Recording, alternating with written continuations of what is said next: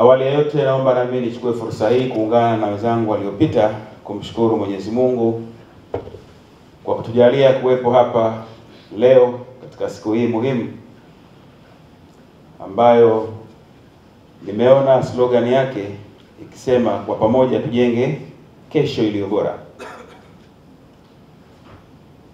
Nadhani ndio tafsiri halisi ya neno letu. Lakini baada ya kumshukuru Mwenyezi Mungu ni niwashukuru na kuushukuru uongozi wa CRDB kwa kutambua umuhimu wa siku hii ya leo tarehe 27 Juni ambayo tumeambiwa imetengwa maalum kwa ajili ya wajasiriamali duniani kote. Sijawahi kusikia hili jambo, hii ni mara yangu ya mwanzo kusikia, na naamini inaweza kuwa CRDB ndio benki ya mwanzo kuadhimisha siku hii muhimu kwa ajili ya wajasiriamali. Ni jambo la kuwashukuru sana, lakini jambo la pili ni washukuru CRDB kwa kazi nzuri ambayo mmeendelea kuifanya ya kuwawezesha wajasiriamali mbalimbali nchini Tanzania na kama ambavyo Bwana Boma ameeleza ndani na nje ya nchi yetu, jambo moja muhimu sana. Ndugu wajasiriamali, suala la ujasiriamali lipo ulimwenguni kote, kwa maana dunia yote inao wajasiriamali, na kwetu Tanzania wapo wajasiriamali wa aina mbalimbali. Miongoni mwa wajasiriamali hao ni nyinyi ambao leo mpo hapa kuwawakilisha wajasiriamali wengine ambao wapo katika nchi yetu ya Tanzania, lakini pia uwepo wenu hapa unawakilisha wajasiriamali wengine wote duniani. Ndugu wageni waalikwa na wajasiriamali mliopo, Tanzania inatambua na kuthamini ujasiriamali na ndio maana kila siku inaendelea kuimarisha sera, sheria pamoja na kanuni ili kuwa na mazingira rafiki kwa ajili ya wafanyabiashara na wawekezaji wa ndani na watokao nje ya nchi. Tumeshuhudia mikakati mbalimbali ya serikali yetu ya Jamhuri ya Muungano wa Tanzania chini ya Jemedari Daktari Samia Suluhu Hassan kwenye kuweka mipango na mikakati imara ya uwezeshaji wa wafanyabiashara mbalimbali wakubwa na wadogo ndani na nje ya nchi yetu. Ni muda mrefu tulishuhudia vikwazo mbalimbali vya kibiashara, sheria kinzani pamoja na kanuni zake ambazo ziliwakwaza wafanyabiashara wakubwa na wadogo. Jambo hili sasa limefikia ukomo. Naomba kwa pamoja tumpongeze na kumshukuru sana rais wetu wa Jamhuri ya Muungano wa Tanzania. Jambo hili lilikuweko pia kule Zanzibar na serikali ya awamu ya nane ambayo inaongozwa na Daktari Hussein Ali Mwinyi. Jambo la kwanza na maagizo yake ya kwanza ni kuondoa vikwazo vyote vya kisheria na vya kiuwekezaji ili kuruhusu sasa kazi ya uwezeshaji na uwekezaji kufanywa kwa urahisi zaidi. Wakati Mheshimiwa Rais akiingia madarakani, alikuta kwa wale wawekezaji wakubwa wanachukua mwezi mmoja hadi miezi mitatu kuweza kupata certificate ya ZIPA kwa maana Investment Authority. Kwa sasa ni siku moja unafanya application, unafanya certificate ya uwekezaji within 24 hours. Ni jambo moja kubwa sana ambalo limeweza kutekelezwa, lakini nichukue fursa hii kueleza kwamba umuhimu wa sekta hii unahusisha mchango wake kwenye uchumi pia ukiacha ajira ambazo zinatolewa kwa Watanzania bado inachangia asilimia thelathini na tatu kwenye pato la taifa. Kwa hivyo naomba mchukue fursa hii pia kujipongeza wenyewe kwa namna ambavyo mnachangia pato hili. Lakini pia katika kila shilingi mia, shilingi thelathini na tatu ambazo ni sawa na theluthi moja zinachangiwa na biashara ndogo ndogo ambazo zinafanywa na wajasiriamali waliopo katika ukumbi huu wa leo. Lakini benki yetu ya CRDB imejiongeza, imeziona fedha hizi zimetolewa na benki imetambua mchango mkubwa wa serikali, lakini imeona ipo haja ya kuisapoti serikali kwa kutoa mikopo kwa wajasiriamali ili kutopa pale ambapo kutakuwa kuna gap. Niwashukuru sana CRDB. Nichukue fursa hii kueleza na kuwapongeza sana wenzetu wa CRDB. Nami nikiri mbele yenu kwamba mimi ni moja kati ya wanufaika wa CRDB kupitia Wizara ya Uchumi wa Buluu na Uvuvi. Sisi kwa upande wa wizara yetu tumepata shilingi, kwa upande wa serikali ya mapinduzi ya Zanzibar tumepata 60 bilioni bilioni 60 kwa ajili ya uwezeshaji wa wajasiriamali mbalimbali wakiwemo wale wa uchumi wa buluu na wale wawezeshaji wa, wa wengine au wajasiriamali wengine ambao wanatoka wizara ya uwezeshaji wananchi kiuchumi. Niwapongeze sana CRDB na niwaahidi wajasiriamali kwamba tumeweza kuzitumia vizuri fedha hizi. Mimi kama waziri ambaye nahusika na usimamizi wa uchumi wa buluu na uvuvi tumepata bilioni 36.5 kwa ajili ya kuwawezesha wavuvi wadogo wadogo na tija imeanza kuonekana.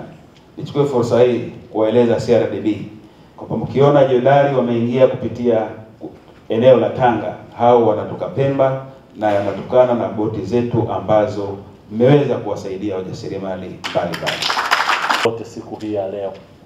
Lakini pili, nichukue nafasi hii kukushukuru sana wewe binafsi kwa kuweza kutenga muda wako kuacha majukumu yako mengine na kuhakikisha kwamba umekuja kuwa nasi katika siku hii ya kipekee kwetu.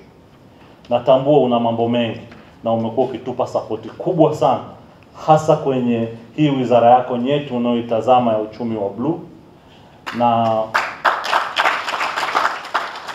tumekuwa tuna programu yetu ya Inuka ambayo imeendelea kufanya vizuri, lakini bila ya sapoti yako eh, isingeweza kufika hapa tulipo na kwa sababu hiyo tukaona kwamba ni vyema sisi kama CRDB tuchambue tutambue mchango wako huu mkubwa wa kuhakikisha kwamba tuko na wewe siku hii ya leo kwa ajili ya kuonyesha namna gani mchango kwa wajasiriamali na timu nzima ya MSME inategemea uh, wadau wakubwa kama wewe. Kwa hiyo tunakushukuru sana sana sana na asante kwa kujumuika nasi siku hii ya leo.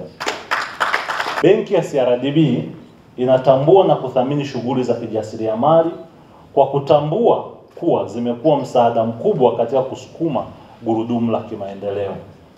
Hata hivyo, tunaamini kwa kiasi kikubwa kuwa sekta hii iweze kutoa mchango wake kikamilifu katika kukuza uchumi wa taifa letu. Kunahitaji huduma na mifumo shirikishi itakayosaidia wajasiriamali kuweza kufikia malengo yao mbalimbali.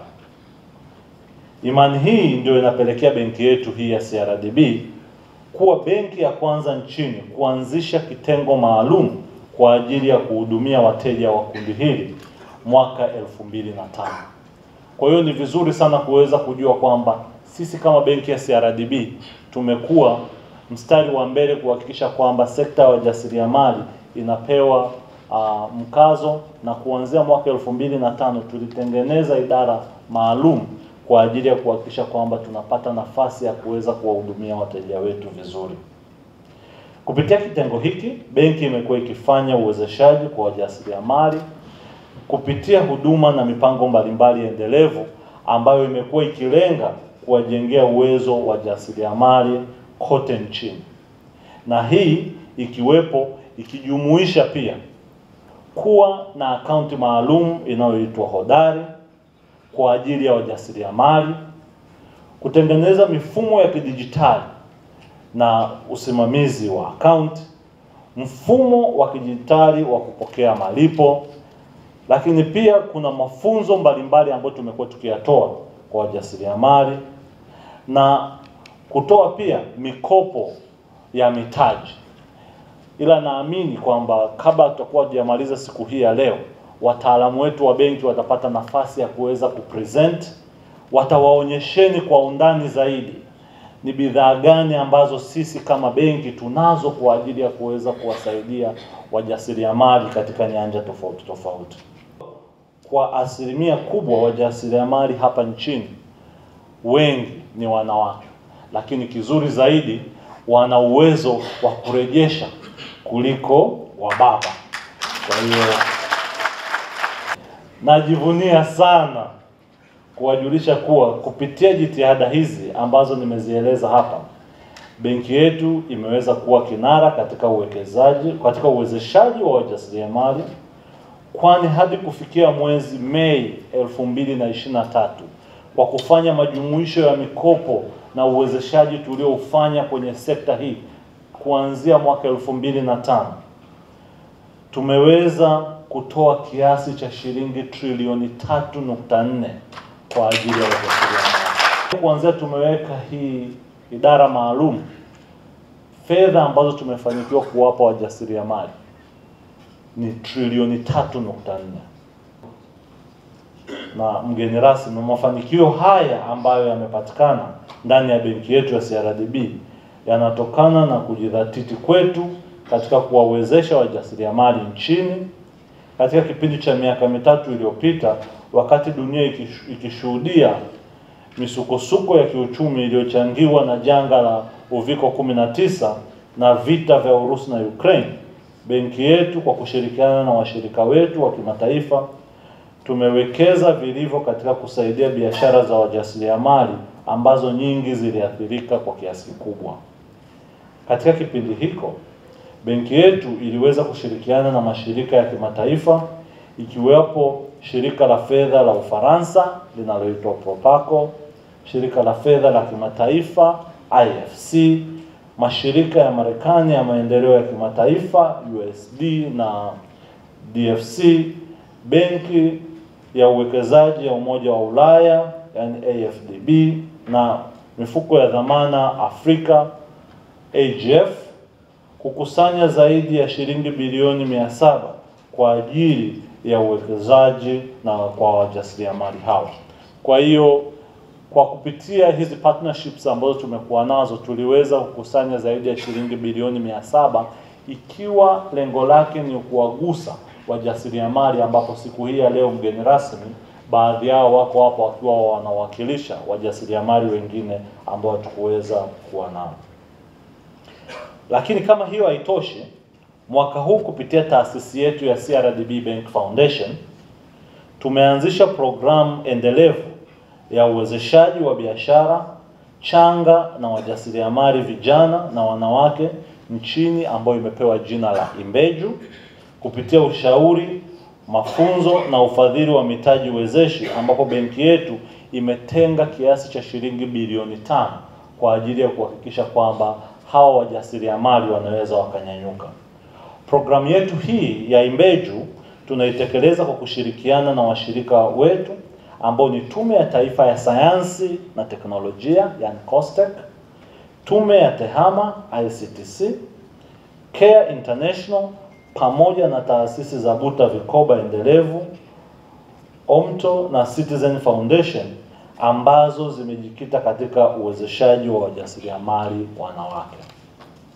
Ndugu mgeni rasmi na wageni waalikwa, leo hii tukiwa tunaadhimisha siku ya wajasiriamali duniani, niwahakikishie kuwa benki yetu ya CRDB itaendelea kuweka mikakati madhubuti ya uwezeshaji wa wajasiriamali na biashara changa nchini, tukiamini kwa kufanya hivyo tutakwenda kuchochea ongezeko la ajira, ukuaji wa uchumi wa watu wetu na taifa letu kwa ujumla.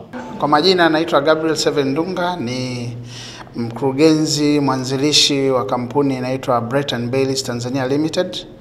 Sisi ni waagizaji na wasambazaji wa vifaa tiba uh, tunaita high and medical devices.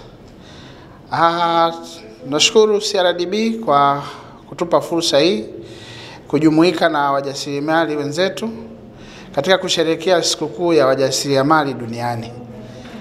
Aa, ni fursa kubwa, ni vitu baadhi, ni kitu ambacho hatujakiona kwa taasisi nyingine. Kwa hivyo tunawashukuru sana sisi CRDB kwa wamekuwa mstari wa mbele kuwasaidia wajasiriamali. Kwa mfano, wanaandaa trip za kwenda nje ya nchi kwenda kujifunza na kukutana na wajasiriamali wenzetu ambao wametutangulia kwenye teknolojia, manufacturing na vitu kama hivyo. Kwa hivyo hata kwa leo ni fursa nyingine ambayo tunaendelea kujifunza na ku, kuweza kukuza biashara zetu. Nadhani kwenye swala la kibiashara, kwenye tunapozungumzia benki, sio swala la kukopeshana na kukopa na kulipa, lakini CRDB wanatoa elimu ili ujue unapokopa utimize malengo yako, ulipe na ukishalipa, nadhani pia ni, ni kukua. Nasema ni both ends, kuna growth both sides, kwa sababu ukikopa kumi ukilipa, kesho ukihitaji ishirini utapata, na ndio kukua kwenyewe. Hivyo tunawashukuru sana CRDB kwa niaba ya wajasiriamali wenzangu, ni hatua kubwa ambayo ametusaidia kufika. Binafsi mimi mwenyewe nisingeweza kufika hapa nilipofika bila uwezeshaji wa CRDB. E, kwa muda mfupi nimeweza kutambulika nchini na nje ya nchi na mefikia mahali pa kupokea tuzo kubwa Afrika Mashariki ni kutokana na mchango mkubwa ambao CRDB wametusaidia wame- kutimiza malengo yetu ya kibiashara na kuweza kufahamika kibiashara. Ndio maana tunatambulika siku ya leo.